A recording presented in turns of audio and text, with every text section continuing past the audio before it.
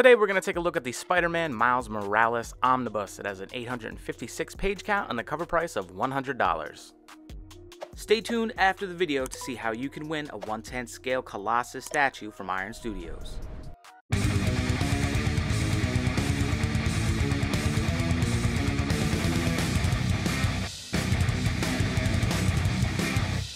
So this omnibus here will be getting a reprint later in the year. There has been some confusion over a name change as a this is Spider-Man Miles Morales Omnibus, but now it'll be called the Miles Morales Spider-Man Omnibus Volume 2. Same thing with the uh, the first book, Miles Morales the Ultimate Spider-Man Omnibus will now just be called the Miles Morales Spider-Man Omnibus Volume 1 figured I'd just clear that up quick because I've heard a lot of people asking questions about it. So uh, the dust jacket, you get great artwork from Sara Pichelli, and uh, you know on the inside of the dust jacket, a little bit of backstory and uh, the creators on the right hand side. As always, you get this fantastic wraparound cover with just uh, different panels from uh, inside this book here, which I love. So spreading it out, just take a look at the gloriousness of the wraparound cover.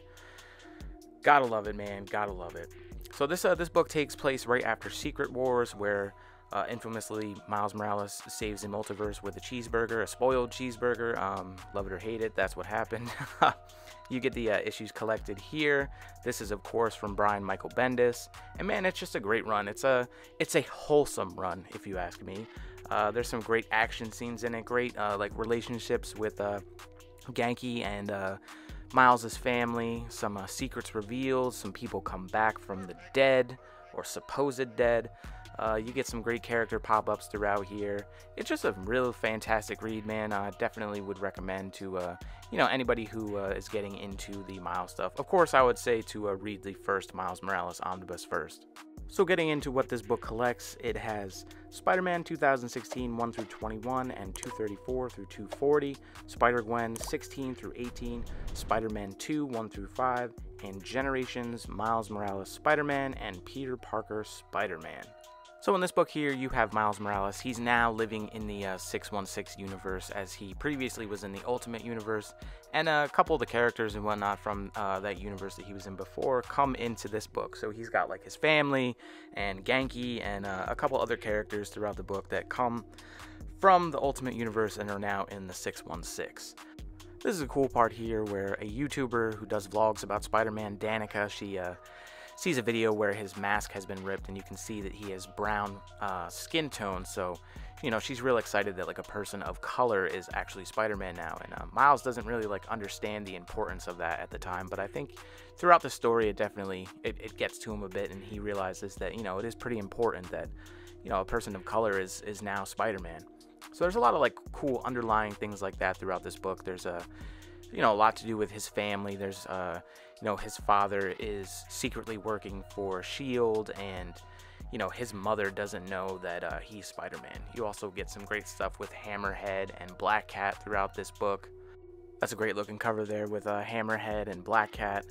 So in this book too, um, Ganke and Miles get a new roommate, uh, Fabio, who is uh, used to be an X-Men. Uh, his name is Gold Balls. He just has, I, have never heard of him before. He just has these gold balls he just shoots out everywhere, which is pretty hilarious. So, uh, you know, there's some, some stuff going on with him throughout this book.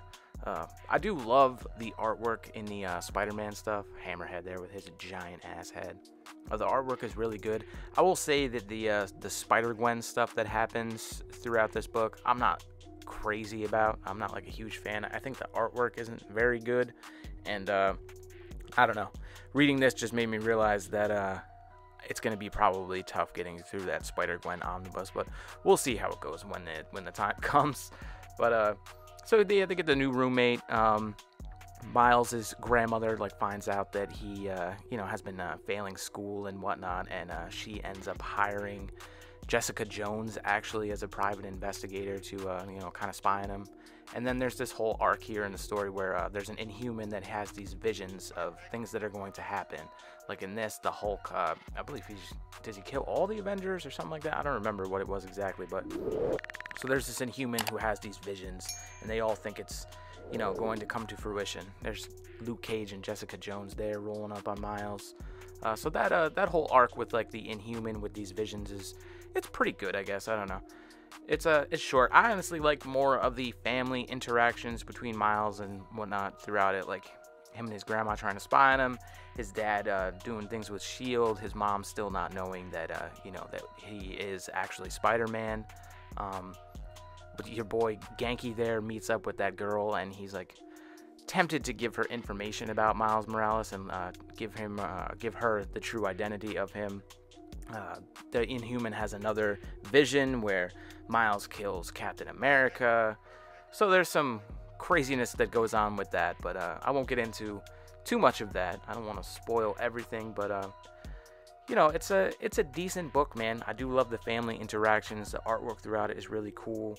The relationship with uh, Miles and his father is also great. With uh, you know them trying to keep it a secret from uh, Miles's mother. So eventually in this book, uh, Miles's dad goes missing, and that's kind of where the Spider Gwen stuff comes into fruition throughout this book, because uh, he's gone and they have to try and figure out, you know, kind of where he is, which, uh, so they go into other dimensions. They're jumping different dimensions and whatnot throughout this, which is, that part is kind of cool. But this is, as I say here, the, the artwork, I'm not like crazy about it. Matt Murdock showing up. Uh, it's a little too cartoony, anime-ish for me, I guess. I don't know. It's, uh, not my favorite for sure. You can also tell a huge difference in the writing style when it crosses over from uh, the stuff with Brian Michael Bendis to uh, Jason Latour, who writes the uh, Spider Gwen issues that are in this. It's just, uh, I don't know. I feel like the writing in the Spider Gwen issues are a little clunky. Got some great, like, Marvel zombie type action there when they go to that dimension, which is cool to see. But yeah, like I said, it's, it's a little clunky. I definitely prefer uh, Bendis' writing way more throughout this book. You get some uh, Spider Ham action popping up in here, which is you know, at least kind of cool to see him. You get a bunch of other different uh, Spider-Men from the multiverse there as well which is cool. But uh, you know, all around, I thought this was a real good read. It was a fast read. I think I read it in about three days. This is a part here in the book where, you know, Miles's mom finds uh, like a ingredients for him to make his web fluid, and it kind of finally comes out that, you know, she she knows that he's uh, Spider-Man, and they come forward and they let her know. Um, another scene here where Miles kind of goes into a bar and he just beats the dog shit out of everybody in there and he kind of is battling with himself like man do i have like evil in me? Am i gonna like do like bad stuff like this? Like he, he just felt bad going in there and fucking everybody up. But uh he also gets into this crazy battle with hammerhead and he gets his ribs all jacked up and uh, luckily your boy gold balls is there to just shoot them gold balls all throughout the club. Oh man. You know and here miles is kind of battling with himself if he wants to actually be Spider-Man or not. So he ends up actually just like bouncing and going to Japan. But of course, I mean, bad guys always follow. So he ends up getting into a brawl with gang members that are trying to rob some old lady or something on the street, which leads him to uh, meeting up with these uh, these like triad people, where he ends up, uh, you know, getting into uh, sick fights with ninjas and shit. Because you know, of course, when you go to Japan, you're gonna fight some ninjas. Oh, as a huge X-Men fan, this was like an oh what the fuck moment when uh, Cable just rolls up and is just like, yo, next time you speak to Miles Morales, tell him Cable wants to speak face to face. I was like, yo, what is good with that? Man, your boy Armadillo here. Spider Man just making fun of his name terribly.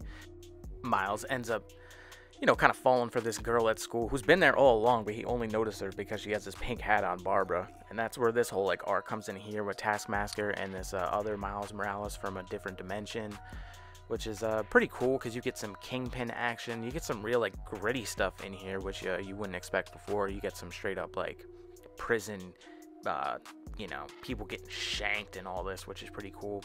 Kingpin just fucking this dude up, which is uh, you know, it was actually surprising to see in this. But uh, it turns out like there's this Miles Morales who's in love with the Barbara in another dimension, and she ends up dying. So uh, Kingpin lets this dude know that you can go to other dimensions and you might find your Barbara somewhere else. That kind of like sets up the whole like story arc with this uh, little section here. But this this has some great artwork throughout it and uh, some real cool stuff with Taskmaster, man. Then you get this uh, Generations issue here, which is pretty cool just because it goes back to like just the the old school Peter Parker ways, and the artwork is pretty cool throughout it because it's like a throwback to the old school artwork. Um, then leading on to like the final arc of the story, you get the uh, the Sinister Six is back together. You get some Iron Spider action, the spots. uh, Hobgoblin. This is a cool little thing. They're gonna pull a heist. Uh, I won't spoil who uh, Iron Spider is. Red Hulk is the security guard at the uh, Avengers place where the it's a heli transport or something like that that they're trying to steal. Um, so this is basically the the end of the book right here. Some sick battles with Iron Spider and everybody else. Uh, you know, it's a it's a badass little ending to the story, man. You get a throwback with the new Sinister Six, you know, trying to pull a heist, which is uh, pretty cool. Love that cover there with Sandman. Sandman looks great throughout this. Uh, like I said, this stuff, the artwork is great. You know, Hulk starts attacking Miles as he's trying to save the day because he had heard that there was a spider involved with the Sinister Six, but it's definitely Iron Spider and not him. Then you find out that the uh, Sinister Six was planning to sell that helicraft or whatever the hell it is to uh, Lucia von Bardas in uh, Latveria. So she's like trying to take over her country again or whatever. And then, you know, crazy battles ensue, and that's I won't spoil everything for you, but uh, that's the end of the story, man. Brian Michael Bendis gives his little love letter to writing Spider-Man for all these years. You get all these great variant covers collected in the back of the book. You get the hip hop variant, uh, some stuff with Gwen, uh, Joe Jusko Gwen, which is pretty great. Uh, always good to see uh, all these variant covers. Gabriel Dell'Otto. Let me know what you think about this book down in the comments. Are you going to get the reprint later in the year? And as always, thank you for watching. Once we hit 500 subscribers, we're going to be giving away this 1 10th scale Colossus statue from Iron Studios. I'll use a random comment generator and pick the winner. All you got to do to win is be subscribed to the channel, like and comment on a video where I mention this giveaway, and you must be located in the United States. Good luck, and thanks for watching.